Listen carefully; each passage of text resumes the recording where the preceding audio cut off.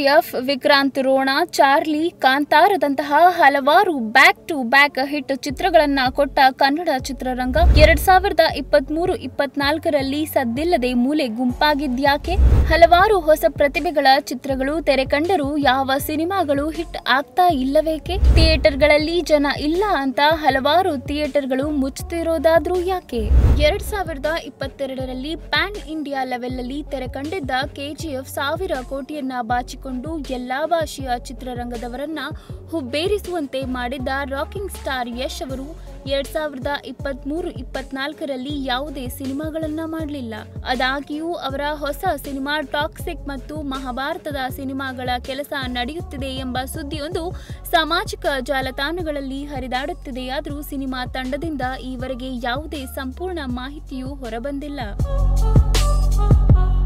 ಕಿಚ್ಚ ಸುದೀಪ್ ಅಭಿನಯದ ವಿಕ್ರಾಂತ್ ರೋಣ ಸಿನಿಮಾ ಸಹ ತೆರೆಕಂಡು ಇಲ್ಲಿಗೆ ಎರಡು ವರ್ಷ ಕಳೆಯಿತು.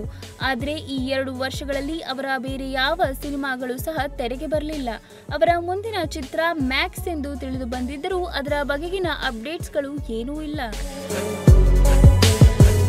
ಸ್ಯಾಂಡಲ್ವುಡ್ನ ಡಿ ಬಾಸ್ ಎಂದೇ ಖ್ಯಾತರಾಗಿರುವ ದರ್ಶನ್ ತೂಗುದೀಪ್ ರವರ ಕಾಟೇರ ಸಿನಿಮಾವು ಬಿಡುಗಡೆಯ ನಂತರ ಮುಂದಿನ ಸಿನಿಮಾ ಬಗ್ಗೆ ಘೋಷಣೆಯಾದರೂ ಅದರ ಬಿಡುಗಡೆಯ ದಿನಾಂಕವು ತುಂಬಾನೇ ದೂರವಿದೆ.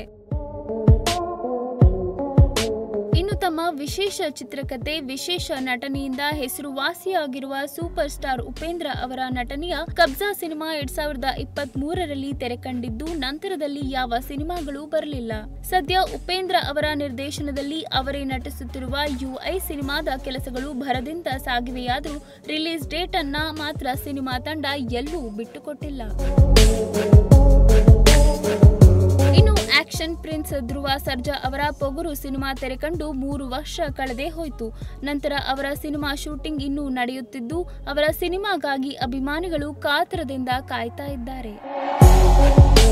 ಕಾಂತಾರ ಸಿನಿಮಾದ ಮೂಲಕ ಇಡೀ ದೇಶವನ್ನೇ ತಮ್ಮಡೆಗೆ ಸೆಳೆದುಕೊಂಡಿದ್ದ ರಿಷಬ್ ಶೆಟ್ಟಿ ಅವರ ಕಾಂತಾರದ ಮುಂದುವರಿದ ಭಾಗದ ಚಿತ್ರದ ಘೋಷಣೆ ಮಾಡಿದ್ದಾರೆ ಹೊರತು ಆ ಸಿನಿಮಾ ಬಿಡುಗಡೆಯ ದಿನಾಂಕವನ್ನ ಹೇಳಿಲ್ಲ. ಅಂತೆಯೇ ನವರಸ ನಾಯಕ ಜಗ್ಗೇಶ್ ರವರ, ರಾಘವೇಂದ್ರ ಸ್ಟೋರ್ಸ್ ರಕ್ಷಿತ್ ಶೆಟ್ಟಿ ಅವರ ಸಪ್ತಸಾಗರದಾಚೆಯಲ್ಲೂ ಗೋಲ್ಡನ್ ಸ್ಟಾರ್ ಗಣೇಶ್ ಅವರ ಬಾನದಾರಿಯಲ್ಲಿ ಹೊರತುಪಡಿಸಿ ಶರಣ್, ನಿನಾಸಂ ಸತೀಶ್, ಕೃಷ್ಣ ಅಜಯ್ ರಾವ್ರಂತಹ ಹಲವಾರು ಸಿನಿ ತಾರೆಯರು ತಮ್ಮ ಕನ್ನಡ ಚಿತ್ರರಂಗದಲ್ಲಿದ್ದರೂ ಸಹ ಯಾವ ನಾಯಕ ನಟರ ಸಿನಿಮಾಗಳು ಎರಡ್ ಸಾವಿರದ ಇಪ್ಪತ್ನಾಲ್ಕರಲ್ಲಿ ಬಿಡುಗಡೆಯಾಗಿಲ್ಲ. ಈಗಾಗಲೇ ಅರ್ಧ ವರ್ಷ ಕಳೆಯುತ್ತಿದ್ದರೂ ಯಾವುದೇ ಸಿನಿಮಾಗಳು ಬಾರದೆ ಇರುವುದು ಸ್ಯಾಂಡಲ್ವುಡ್ನ ನಟರು ಮೂಲೆ ಗುಂಪಾಗಿದ್ದಾರೆಯೇ ಎಂಬ ಅನುಮಾನಗಳು ಮೂಡಿಬಂದಿವೆ. ಹ್ಯಾಟ್ರಿಕ್ ಹೀರೋ ಶಿವರಾಜ್ ಕುಮಾರ್ ಅವರ ಕರಟಕ ದಮನಕ ಸಿನಿಮಾ ಬಿಡುಗಡೆಯಾದ ನಂತರ ಚುನಾವಣೆಯಲ್ಲಿ ಬ್ಯುಸಿಯಾಗಿದ್ದು, ಇತರ ಯಾವುದೇ ಸಿನಿಮಾಗಳ ರಿಲೀಸ್ ಡೇಟ್ ಇನ್ನೂ ಹೊರಬಂದಿಲ್ಲ. ಇಂದಿನ ಬ್ಯುಸಿಯಾದ ತಾಂತ್ರಿಕ ಜೀವನದಲ್ಲಿ ಎಲ್ಲರೂ ಮೊಬೈಲ್ಗಳಲ್ಲಿಯೇ ಸಿನಿಮಾಗಳನ್ನ ನೋಡುತ್ತಿರುವುದರಿಂದ ಥಿಯೇಟರ್ಗಳತ್ತ ಬರುವವರ ಸಂಖ್ಯೆ ಕಡಿಮೆಯಾಗಿದೆ.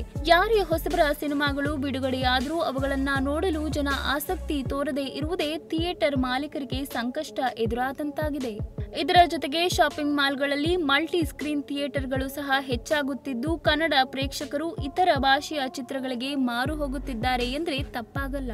ಆದ್ದರಿಂದ ಇಂದು ಸಿಂಗಲ್ ಸ್ಕ್ರೀನ್ ಥಿಯೇಟರ್ಗಳು ಅಳಿವಿನ ಅಂಚಿನಲ್ಲಿವೆ. ದೊಡ್ಡ ದೊಡ್ಡ ಹೀರೋಗಳ ಸಿನಿಮಾಗಳು ರಿಲೀಸ್ ಆದ್ರೇನೆ ನಮ್ಮೆಲ್ಲರಿಗೂ ಊಟ. ಇಲ್ಲವೆಂದರೆ ಉಪವಾಸ ಇರಬೇಕಾದೀತು. ಹೊಸ ಹೀರೋಗಳ ಸಿನಿಮಾಗಳನ್ನ ಜನ ನೋಡೋಕೆ ಥಿಯೇಟರ್ಗೆ ಬರೋದಿಲ್ಲ. ನಾವು ಸಹ ವಾರಕ್ಕೊಂದು ಸಿನಿಮಾಗಳನ್ನ ಥಿಯೇಟರ್ನಲ್ಲಿ ಹಾಕೋಕೆ ಆಗೋದಿಲ್ಲ ಎಂದು ಹೇಳುತ್ತಾ, ಇದರಿಂದ ಕುಪಿತಗೊಂಡ ಥಿಯೇಟರ್ ಮಾಲೀಕರು ಕನ್ನಡ ಚಿತ್ರಮಂಡಳಿ ಕಚೇರಿಯ ಮುಂದೆ ಹೋಗಿ, ಕನ್ನಡ ಚಿತ್ರವನ್ನ ಒಂದು ತಿಂಗಳುಗಳ ಕಾಲ ಬಂದ್ ಮಾಡಿ ಎಂದು ಧ್ವನಿ ಎತ್ತುತ್ತಿದ್ದಾರೆ.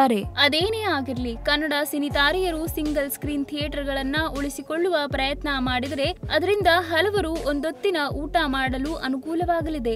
ನಮ್ಮ ನೆಚ್ಚಿನ ನಟರು ಈ ಪ್ರಯತ್ನವನ್ನ ಮಾಡಬೇಕು ಎಂಬುದೇ ನಮ್ಮ ಆಶಯ.